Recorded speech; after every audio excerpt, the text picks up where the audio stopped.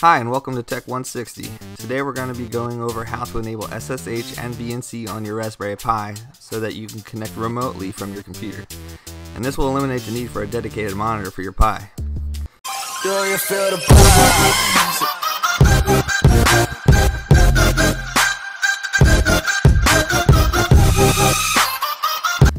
So to configure your Pi initially, you will need a monitor and keyboard so that you can see what you're doing but you will go to the terminal and enter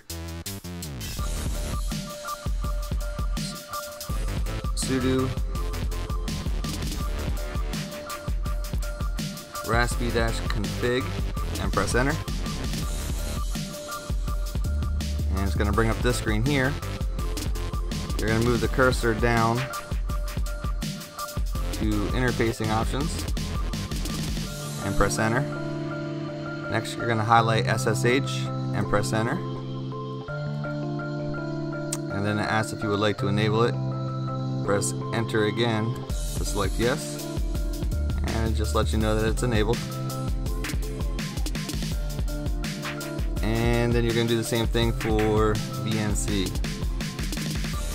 Highlight it, enable it. Okay. And while you're in here, Go to localization options and change your time zone if you haven't already done so.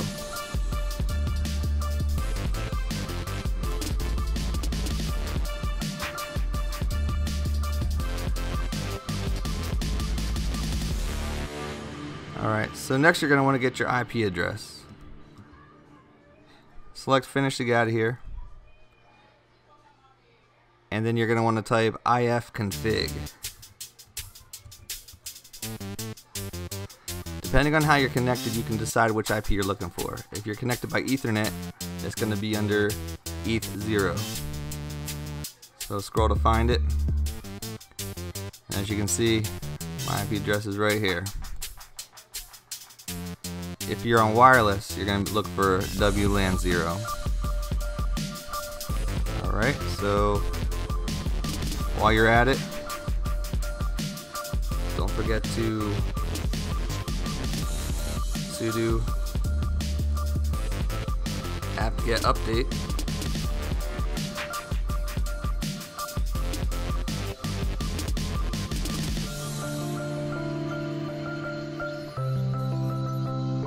And then finally you're going to want to sudo reboot to make sure everything takes effect.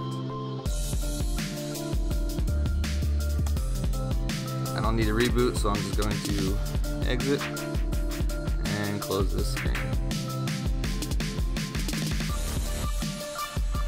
Alright, so now you can go to your computer and finish setting up. The first thing you're going to want to do is go to putty.org and you're going to click the link where it says download here. Once redirected you can choose your download package. I chose the MSI because I'm using Windows, and you can pick 32 or 64 bit depending on your operating system. If you're not sure, there's a link right here. Once downloaded, install it and then run it.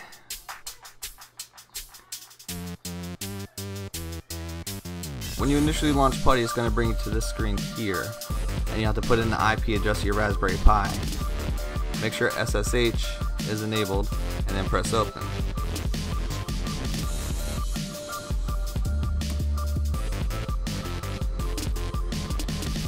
Now enter the username for your Raspberry Pi. By default, it is Pi. And then press enter. And now it's going to ask you for your password. So whatever password you have set for your Raspberry Pi, enter it now. And that's it. You're up and running with SSH. For VNC, you have to go to realvnc.com and select download.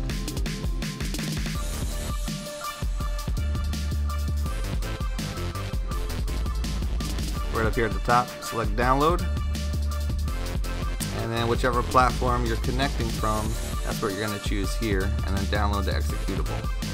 So I would choose Windows and then download. Uh, once downloaded, you're going to run it to install and then launch it.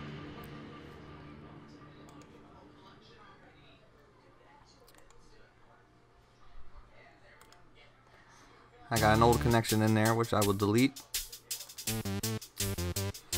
So when you open VNC it's going to look like this. Again, you're going to enter your IP address right here in the bar and press enter.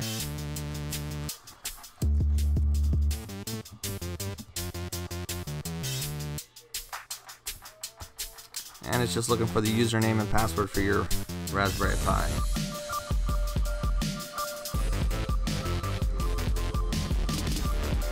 You put this in, press OK.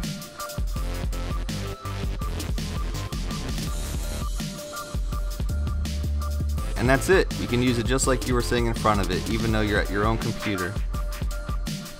This is especially useful in a situation like mine where the Pi is connected to one of the TV inputs. So if someone was watching the TV, I'd be out of luck if I needed to log into it. So this is the perfect solution. It's also nice to be able to connect to it from anywhere outside of your network if you're running a VPN server in your house as well. I had the Pi VPN running on this one. Well that's it, nice and easy. If you found this useful, please hit the like button and don't forget to subscribe for more. Thanks for watching.